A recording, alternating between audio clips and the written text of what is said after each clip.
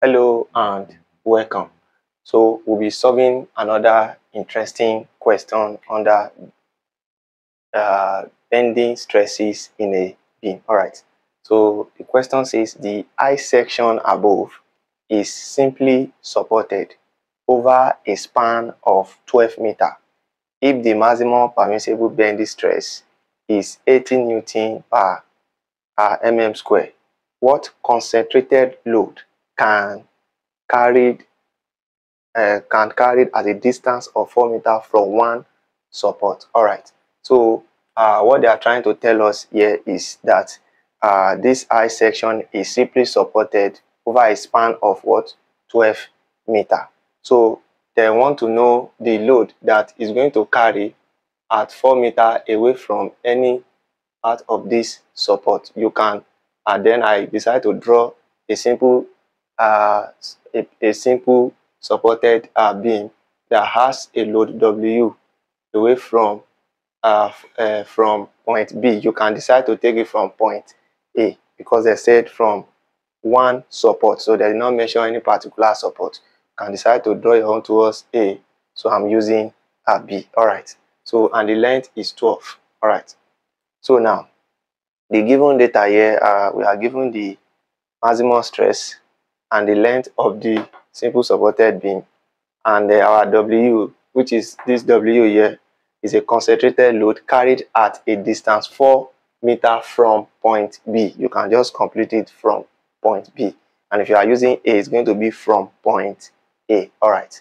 So uh, for us to solve this question, we the reason for why we draw this uh, diagram is for us to calculate the maximum bending moment because we know that uh, if you draw the bending moment diagram, it is going to be the uh, moment is going to be maximum at point C. So for us to uh, know what we are doing, we are going to be doing some little calculation here. All right, we know that we can say that the summation of forces in uh, uh, in y direction should be equals to zero. That is, the sum of upward force will be equal to the sum of downward force. So we are going to say sum of force in the y direction should be equal to zero while we take upward force to be positive and downward force will be negative. So we are going to say reaction at A plus reaction at B will be equals to W. So we can call this equation number one. All right. So we can take our moment towards point A to be equals to what? Zero. All right. So if we take our moment towards point A to be equals to zero, shows that R will be multiplied by 12. So reaction at B multiplied by 12 will be equals to W multiplied by the total distance towards this point. From here to here is 8. From here to here will be 8. So W times 8.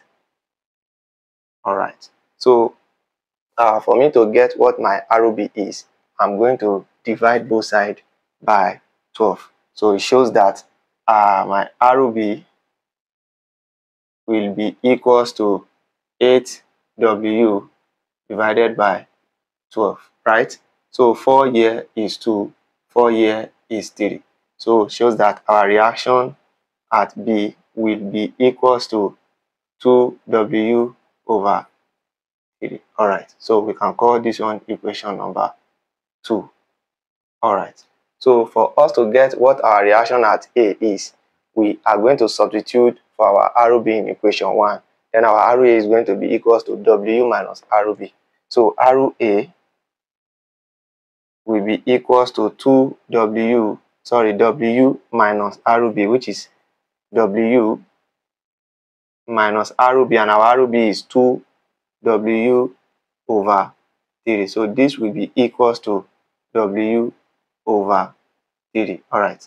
So it shows that our ROA our reaction at A will be equals to W over 3. Alright, so but uh, uh, uh, we have gotten our reaction at A and then we have gotten our reaction at B. So let's call this equation number 3. Alright, so now uh, I have just established that the moment is going to be maximum at this point C. All right, so we are going to calculate our maximum bending moment at point C. So it shows that maximum bending moment, maximum bending moment at point C, at point C, you can just put it at point C will be equals to, is going to be equals to, so at point C, you can decide to take your maximum bending moment, you can, you know, they said maximum bending moment is the, uh, is the product of uh, forces uh, multiplied by the perpendicular uh, multiplied by the perpendicular distance either to the left or to the right. That is the moment of a force either to the left or to the right. You can either take your moment either to the left. You can start from this and take it towards point C, or you can take start from this side and take it towards this side. Because I have seen a lot of our students asking me question that why is it that I always start my calculation from this side? Or some will say why not this side? You can actually start from anywhere. All right. So I'm going to stand at this point and I'm going to take uh, my moment towards this side. So it shows that I'm going to have just uh, one up uh, upward for which is going to be arrow A multiplied by the total distance. So it's going to be arrow A multiplied by 8. If you stand here and take it towards this side, you are still correct. We are going to arrive at the same answer. All right. So this is going to be equals to arrow A is W over 3 multiplied by 8. So this is going to be 8W over 3. So this is our uh, maximum uh, this is our maximum uh, uh, bending moment. So the unit is going to be Newton per meter. So if I multiply this by 1000 now, it's going to be what? Newton per what? Millimeter. So it's going to be 8000 8000 W over 30 then Newton per millimeter. All right. So that is what we are going to have. All right. So the next thing we are going to be uh, doing is we are going to calculate the moment of inertia. All right, the moment of inertia. So I have explained to us that if we have a symmetrical I section that uh, we are going to treat the moment of inertia uh, same way we treat the uh, moment of inertia of a rectangular section because if I join this point to this point and I join this point to this point um, and I join this point here, join this point here, what I'll be having is nothing but a what? A hollow rectangular section. So the formula is going to be equals to what? It's going to be equals to BD cubed over 12 minus BD cubed over 12. So which is equals to 1 over 12 into BD cubed minus BD cubed. So anyhow you want it. Alright, so this I now, the moment of inertia will be equals to 1 over 12 into what is our B? The B is the uh, base of the outer rectangle, so which is 225. So it's going to be 225 multiplied by multiply by D. And the, D is going to be the thickness of this place which is 11 point uh, 11.5 cube. Then minus our uh, ba uh, the base of the inner uh, rectangle so this is our inner rectangular. so the base of this inner rectangle is always 100 minus the thickness of this place. So it's going to be 100 minus 7.5 so we are going to have 100 minus 7.5 then the depth of uh, this uh, uh, inner rectangle is from this point to this point. That is 225 minus uh, minus d minus this plus this. Because we are going to subtract 225 from this and from this. That is 225 minus uh, 2 into 11.5. So 225, I'm going to have 225 minus 2 minus uh, uh, 2 into uh, 2 times uh, 11.5 uh, that should be uh, 2 times 5, that's 22. That is 24, right? That should be minus 24. All right. No, that should be 23, right? Uh, 2 times 11 is 22. That is 23. All right, so that should be 23. So it's going to be 225 minus 2 times uh, 11.5. All right, so you can therefore close your bracket. So you are going to put a cube here. This one is always having a cube. All right, so that's it. Now, if you press all of this value directly in your calculator, you press 225 multiplied by 11.5 to the power of 3 minus 100 minus 7.5 into 225 minus uh, 23 to the power of uh, 3. Then you divide your result by 12. You are going to have your I, uh, your moment of inertia to be 3, 1, 3, 8, 6, 8, 6, 6, 4, 7, point 45 mm to the power of 4. All right. So that is going to be uh, the answer for our what moment of inertia. All right. So the next thing we can calculate here is the y max. The y max is the distance from the outermost part to the what neutral axis. So and uh, this is going to be it is always at d divided by 2. This capital letter d divided by 2. So which is 225 divided by 2. And if you do 225 divided by 2, you are going to have 112.5 mm.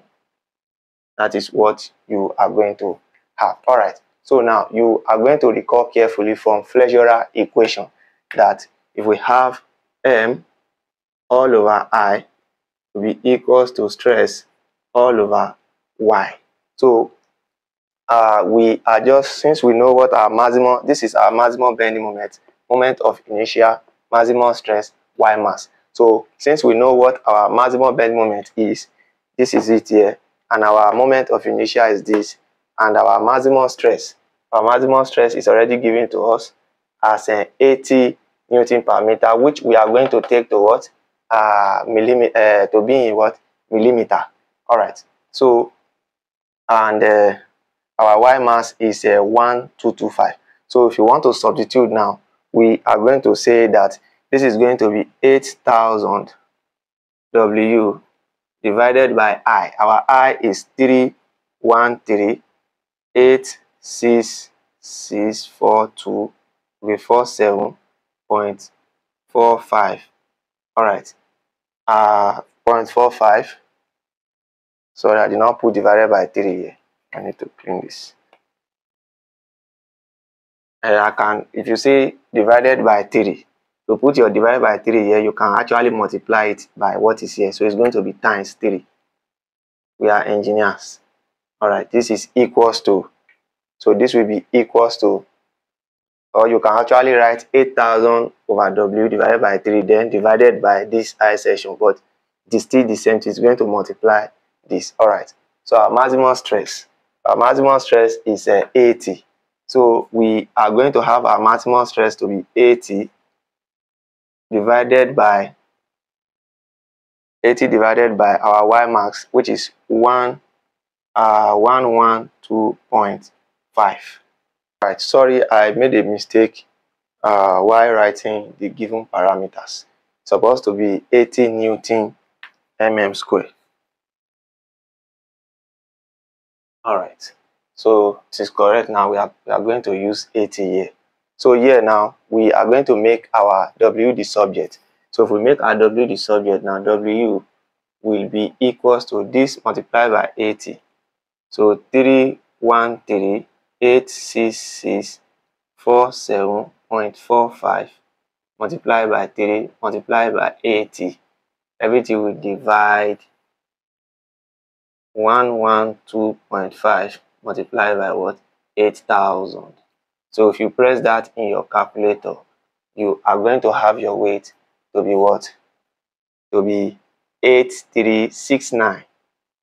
8369 point what? 0.77. 0.77, then the answer is going to be what in Newton. So this is how to go about the solution to this question. I believe we understand this uh, fully well. And uh, if today is your first time of coming across our content, please do well to share this content with your colleagues uh, who might be in need of it. And uh, don't forget to click on the what on the like button and hit the notification bell so that whenever I upload a content, a good content like this, you'll be the first person to get the notice. Stay tuned. Tutor Jerry Gat recover. Thanks.